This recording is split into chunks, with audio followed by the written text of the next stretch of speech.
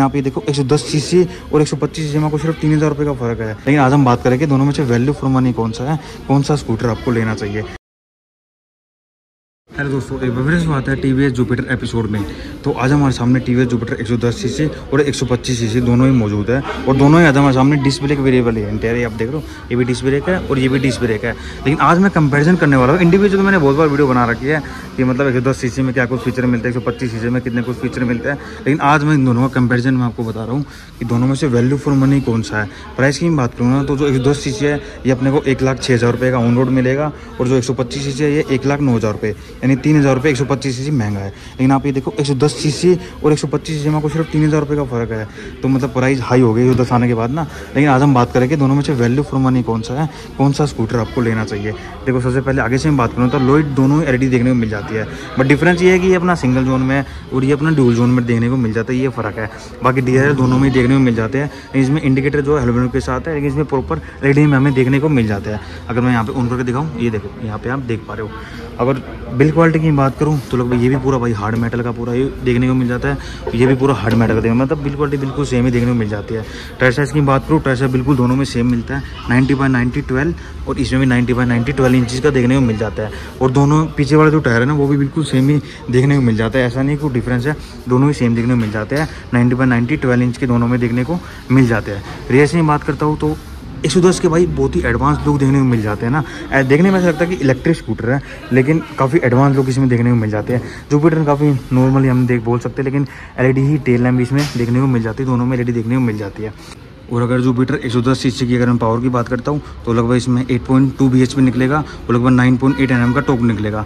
125 CC में मैं आता हूँ तो लगभग इसमें अपने को एक सौ चौबीस का इंजन देखने को मिलता है, ठीक है? पावर की बात करते हैं तो लगभग इसमें 8.1 पॉइंट वन बीएचपी निकलेगा 10.5 पॉइंट एनएम का टॉप निकलेगा। तो टॉप थोड़ा बहुत ही एक सौ में ज़्यादा देखने को मिल जाता है, वरना बीएचपी दोनों का ऑलमोस्ट हम सेम बोल सकते हैं पॉइंट का फ़र्क है, वरना दोनों का ही सेम हम बोल सकते हैं। और अगर ग्राउंड क्लियरेंस की बात करूँ ना तो वो बिल्कुल सेम है, ऐसा नहीं डिफरेंस है। वन सिक्सटी थ्री एम का देखने को मिल जाता है दोनों में ही। मतलब एक सौ में भी, एक सौ दस में भी बिल्कुल सेम ही हमें देखने को मिलता है, यहाँ से आप देखो ना। बिल्कुल सेम ही मिलता है। और एक और चीज़ है कि जो सीट है ना, वो भी बिल्कुल सेम डिज़ाइन में है, ये देखो। यहाँ से आप देखो ना, बिल्कुल सीट बिल्कुल सेम डिज़ाइन में देखने को मिल जाता है। ऐसा नहीं कोई डिफरेंस है। दोनों में सेम हमें देखने को मिल जाता है। और अंडर सीट स्टोरेज की बात करता हूँ ना, ये देखो भाई। ये देखो। तो दोनों में सेम हमें देखने को मिल जाता है ना।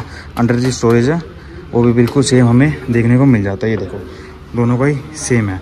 एक सौ दस सी में भाई, पहले तो कम मिलता था, लेकिन अब पूरा इसका फ्यूल टैंक नीचे दे दिया गया है तो पूरा अंडर स्टोरेज काफ़ी बड़े साइज़ का देखने को मिल जाता है, लगभग थर्टी थ्री लीटर के आसपास का हमें देखने को मिलेगा।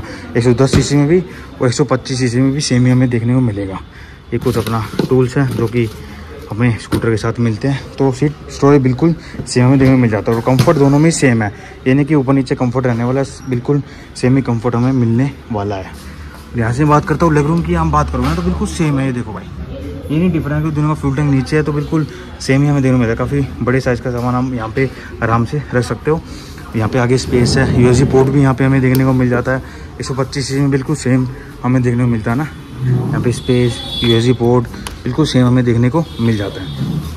यहाँ पे हम बात करोगे, चलेंगे, ऐसा कुछ दोनों का देखने को मिलता है। एक दस की बात करते हैं तो पूरा हाई बीम लो बीम यहाँ पे होन यहाँ पे हम वॉइस कंट्रोल देख पा रहे हैं, ठीक है?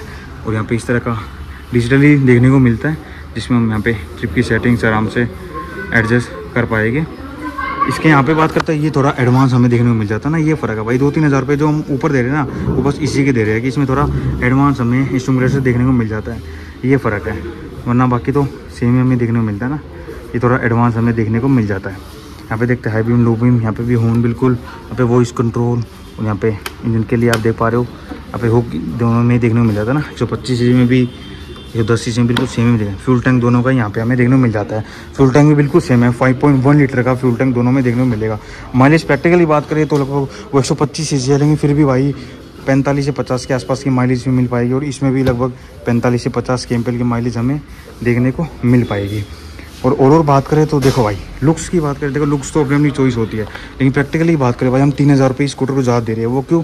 सिर्फ़ इंस्ट्रूमेंट क्लस्टर के वरना देखा जाए तो पावर वगैरह भी ऑलमोस्ट सेम ही देखने को मिल जाते हैं, बस इसमें थोड़ा टॉक ज़्यादा देखने को मिल जाता है, वरना ऑलमोस्ट सेम ही देखने को मिल जाता है।